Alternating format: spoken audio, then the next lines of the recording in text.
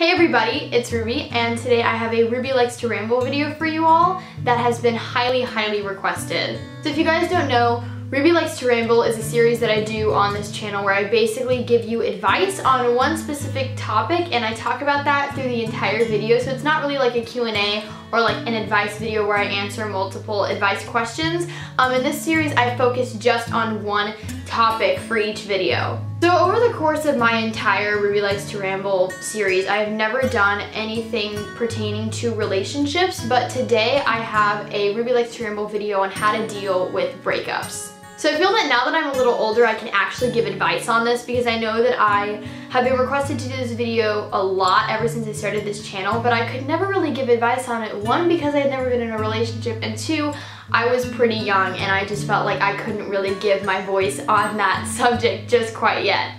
So I'm going to be very honest with you guys in this video, starting off with the fact that I've only been in one relationship and it actually just ended pretty recently. So for those who are wondering, yes, I am completely fine, um, but it, it happened pretty recently that I can still kind of give like fresh advice on how to deal with breakups. So without further ado, let's just jump into this advice video and if you guys want to see more Ruby Likes to Ramble videos in the future, just leave me like um, topics that you want me to give advice on in the comments down below and I'll be happy to get to them. So I feel very lucky because the only breakup that I've ever experienced was actually um, a really good one, if that makes any sense. Um, we ended on extremely good terms. Um, we're still friends. It was kind of a mutual thing. I'm not going to get too much into it, but it was definitely kind of like a mutual um, parting. But yes, I'm still friends with the person who I dated. Um, it was a very clean breakup. I mean, obviously you're going to be sad for a little bit no matter whether, no matter if it was a messy breakup or not. But I feel very lucky in the sense that I ended on really, really good terms with my ex and we're still friends. So this is just me kind of giving advice um, on how to deal with breakups through kind of the experience that I have had. So I'm just to preference this video by saying that.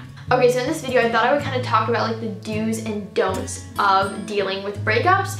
So I'm to start off with the first kind of do, which is understand, sorry I had to push up my glasses there for a second. My first kind of key point is understand that you're gonna be sad regardless of whether or not you had a messy breakup or not. I feel like after a breakup, it's very easy to kind of put on a brave face and just tell all your friends like, no, no, I'm fine, like I'm all good, like it's okay. But I want you to know that it is okay to be sad. I mean, you're going to be sad regardless, like I said, of whether or not your breakup was a clean parting or messy. Um, it's completely natural to be sad for a few days, even a few weeks, depending on how long you and your ex were dating. Um, it might take a little bit longer than even a few weeks, but regardless, I just think that the first point, and it's really, really important to make, is knowing that you are going to be sad for a little bit and to not just immediately be like, no, no, it's okay, I'm fine, I'm fine. Because part of the healing process of a breakup is acknowledging that you are sad because you're breaking up with this person or you're parting ways with this person who um, you obviously had quite a bit of interest in and now like your relationship has changed um, for the better or for the worse. Um, but that's really up to you to decide. But just know that you are going to be sad for a little bit and that is completely natural and that makes you human. So a little don't point that I have to make in this video is don't hide your feelings. Like I said, it's okay to be sad and you know, I was the kind of person that after my breakup, I was sad but I didn't really want that to show at school, which is completely okay. You know, I think that, you know, it's okay to like wait until like you get home to kind of show your true feelings but at the same time don't like get your let your feelings kind of build up and build up and build up until you're finally just like breaking down one day find people in your life who you can really really confide in and that way you can kind of talk about how you're feeling that's a really big part of kind of the healing process I would say but definitely don't like build up your feelings because it's so bad and it's not healthy at all my next tip would be to surround yourself with positive people. I cannot stress this enough. But basically, in any situation where, you know, you're going through a rough patch, whether it's a breakup or, you know, a family um, member has passed on, any big significant change in your life, definitely, definitely, definitely surround yourself with positive people. I'm one of those people that I would rather have two best friends who I tell everything to rather than 200 friends who I sort of know but can't really share my feelings with. Um, so for me personally, I found that when going through a breakup, it was really, really nice just to know that I had these like select few people who I knew that I could talk to and like whatever I was telling them would stay just between us but also it was really nice to have somebody to talk to and kind of just let your feelings out because you're not gonna feel better until you talk about your feelings with somebody else. And if you don't feel comfortable talking about your breakup with friends, lean on your family. That's what your family is here for. I know that for me personally, I talked to my family, you know, when I was feeling sad, but for me personally, what helped is utilizing my best friends. I really don't know what I would do without them in any situation, but especially recently, you know, breakups are hard, as the song says. Breaking up is hard to do. Um, and although I knew that I was gonna be okay eventually, you know, in the moment, I was pretty sad. And so it was really nice in the moment to have that just select few people who I knew that I could trust and confide in. So definitely surround yourself with positive people. It's only going to help you. It's not going to hurt you, I promise. A don't that I have is do not share your breakup details with everybody. So I know that in the moment you might not care about telling everybody your like all the details about your breakup with your ex, but I promise a few days later you're really really gonna regret it. I feel like some people in the moment, you know, they just like they're so angry or whatever if they have a messy breakup, they're like, I don't care, everybody can know what happened, blah blah blah. And then days later they're kind of like, wow, I really wish I wouldn't have told so many people. Because it's really important to keep certain aspects of your personal life personal and private, and part of that means don't tell everybody about the details of your breakup unless you're like one of those people who's like a complete open book, um, which I am to an extent, but when it comes to certain issues such as like breakups or stuff like that, or like family issues, I don't choose to tell everybody, which is why I like to have a select few people who I can completely confide in. But definitely don't tell everybody about the details of your breakup. It's not gonna help. Another tip I have is understand that the time it takes for you to feel comfortable with dating again is different for everybody. I feel like it's a really common assumption for people, not just girls, both boys and girls, to kind of think that like as soon as you break up with someone you have to go right back into dating another person or some people believe the complete opposite which is you have to wait a certain amount of time before you can start dating again.